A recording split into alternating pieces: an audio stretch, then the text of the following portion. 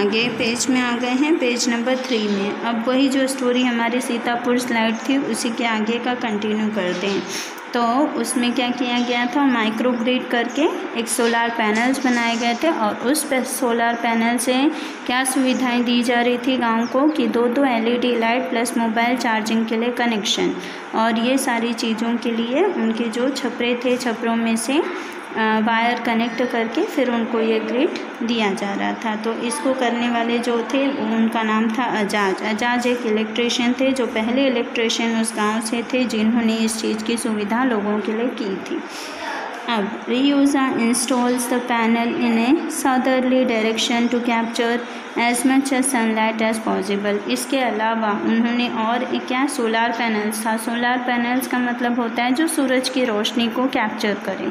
तब जब दिन होता था, धूप ज़्यादा होती थी, तब ये पैनल्स अपना काम करते थे, यानी इसमें पूरी की पूरी रोशनी सेव हो जाती थी। और जितनी भी लाइट वो लोग सेव करते थे, सूरज की उतनी लाइट वो उसमें सोलर पैनल्स में सेव करते थे। We are saving our environment with this lights and is no pollution in our homes इधर से से फार्मर फ्रॉम द विलेज अब इस तरह से उस गाँव का हर जो किसान था, वो यही बोल रहा था कि इस तरह से हमने अपने पर्यावरण से ही अपने लिए लाइट की उपलब्धि कर ली है और ऐसा पर्यावरण अभी शुद्ध और साफ़ रहेगा कि जिसकी वजह से कोई भी धुएँ की अड़चन नहीं होगी, लोगों में बीमारी नहीं फैलेगी। प्लस हमारा गाँव, हमारा घर जो है वो साफ़ और सुरक्षित रहेगा और लाइट की भी सुविधा हो जाएगी। New businesses are starting to emerge amongst the customers to says another in one village customers are using the light to weave saris by night in another one man now has a night business making plastic table cloth he says It's nice to have light while we cook and eat. Our children are also studying more now.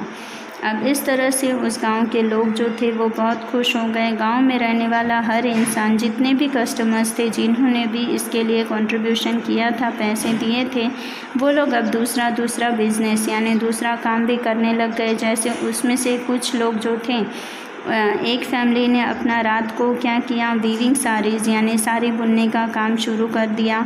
उसने इस तरह से दूसरे family ने क्या किया कि उसने टेबल क्लॉथ रात में बैठ के वो लोग प्लास्टिक के टेबल क्लॉथ बनाया करते थे। अब इस तरह से उनको लाइट की सुविधा हो जाने की वजह से उनके काम में बिज़नेस में बढ़ोतरी होने लग गई, पैसा ज़्यादा कमाने लग गए। दूसरी तरफ़ महिलाएँ जो घर में खाना वाना अंधेरे में बनाया करती थी, अब उनको भी रोशनी में खाना बनाने की सुविधा हो गई। बच्चे जो दिन में पढ़ नहीं पाते हैं, वो अब रात को थोड़ा थोड़ा पढ़ पाते हैं।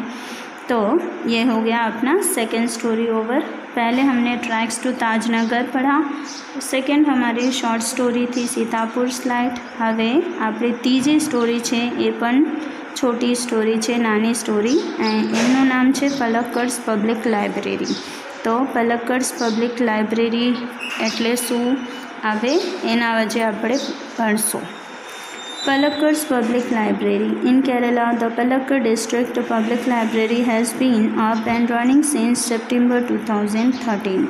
It is a fine modern library, a center for information, knowledge, wisdom, cultural activities research and reference अब केरला की ये कहानी है केरला में पलक्कड़ नाम की डिस्ट्रिक्ट था डिस्ट्रिक्ट में पब्लिक लाइब्रेरी हुआ करती थी। लाइब्रेरी का मतलब होता है जहाँ पे किताबें रखी होती और लोग वहाँ पर जाकर अपना समय किताबें पढ़ने के लिए निकालते हैं। It is a fine modern library अब ये जो लाइब्रेरी थी वो काफ़ी अच्छी थी और मॉडर्न थी।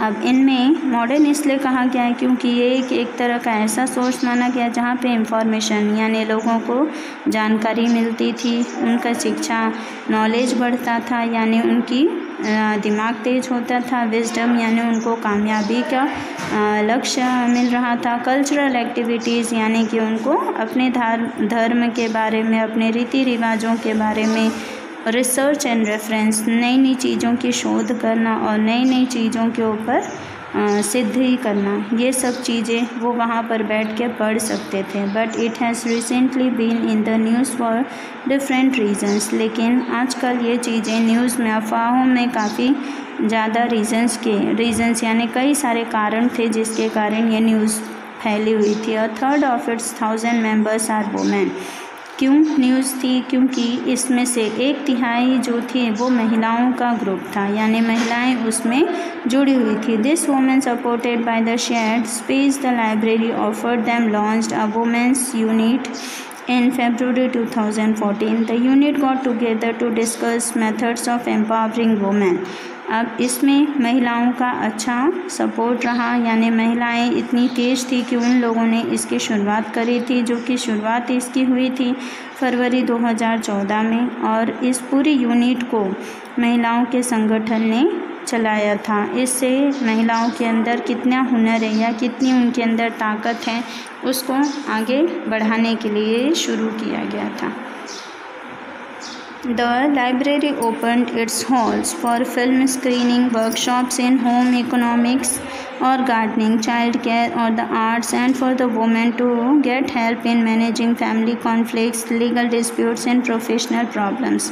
अब इस लाइब्रेरी में जाने से जब महिलाएँ बैठती थी तो उनको अलग अलग चीज़ें सिखाई जाती थी जैसे फ़िल्म स्क्रीनिंग यानी पिक्चर पे उनका अगर रोल किस तरह से होना चाहिए वर्कशॉप्स अगर उन्होंने किसी चीज़ को खोला है, कोई दुकान खोली है तो उस पर उनको किस तरह से बात करनी है, कैसे चलाना है इन होम इकोनॉमिक्स यानी घर चलाने के लिए रुपए पैसे का यू किस तरह से यूज़ किए जाते हैं, वो शिक्षा मिल रही थी।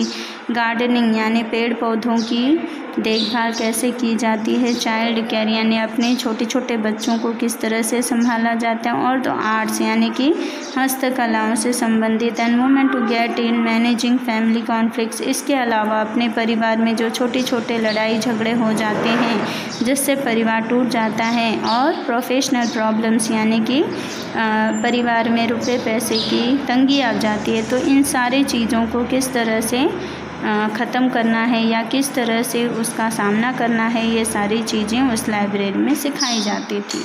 महिलाओं को ट्रेनिंग दिया जाता था। The secretary of the library pointed out that through reading women would realise their own strength and force a unity secretary जो लाइब्रेरी की थी उन्होंने ये खोज कर ली कि अगर महिलाएँ रीडिंग करेंगी रीड कर, रीडिंग करेंगी तो उनको खुद खुद ब खुद पता चलेगा कि उनके अंदर क्या ताकत है और वो किस तरह से अपनी ताकत को एकता में बदलेंगी।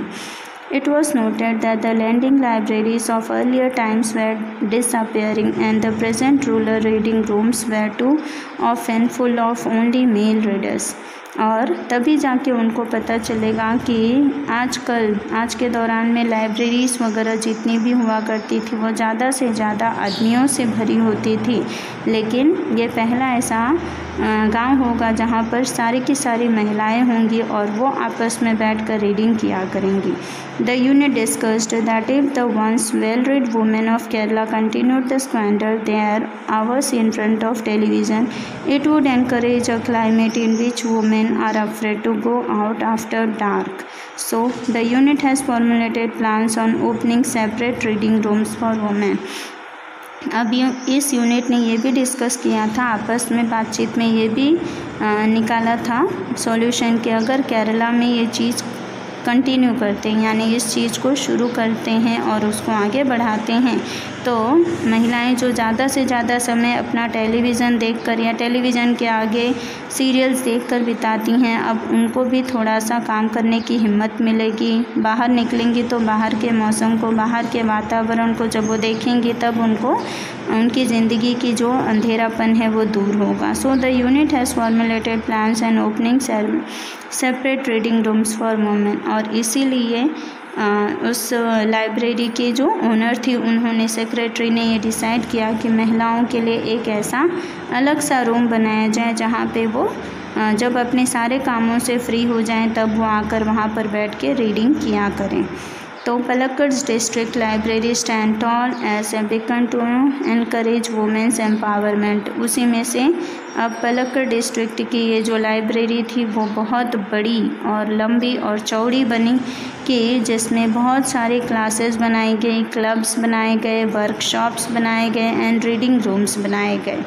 And then there are books which will provide the women the strength they need to make good use of this opportunities और उसके अलावा ऐसी बुकें वहाँ पर रखी गई जिसको पढ़कर औरतों को औरतों की शक्ति का अंदाज़ा मिल सके और वो अपने समय का सही तरीके से यूज़ करें और उनको नई नई चीज़ों की अपॉर्चुनिटीज़ यानी उनको नए नए काम के लिए आगे बढ़ने का मौका मिल पाए तो ये रहा पलक्कड़ का स्टोरी पलक्कड़ डिस्ट्रिक्ट में लाइब्रेरी का निर्माण कैसे हुआ किसने करवाया उसमें महिलाओं का महिलाओं के लिए क्या क्या चीज़ों की उपलब्धि थी ये सब हमने इस स्टोरी में देखा તો હવે આપણે નાની નાની ત્રણ સ્ટોરીઓ જોયું છે તો એમાં પહેલી હતી ટ્રેક્સ ટુ તાજનગર ને બીજી હતી સીતાપુર સ્લાઇટને હવે ત્રીજે આપણે કર્યું. એમનું નામ હતો પલક્કડ્સ પબ્લિક લાઇબ્રેરી. આ ત્રીજી ત્રણે ત્રણ સ્ટોરી જે કર્યો એમાં, બધા સ્ટોરીમાં તમને શું જણાવે છે કે તમને કેટલા સ્ટેમિના અને કેટલી તાકાત જોઈએ ત્યારે આપણે આગળ આવી શકો છો. તો આ થઈ ગયો તમારો ચેપ્ટર પૂરો. યુનિટ વન કમ્પ્લીટ થઈ ગયું. હવે, થેન્ક યુ સ્ટુડન્ટ્સ.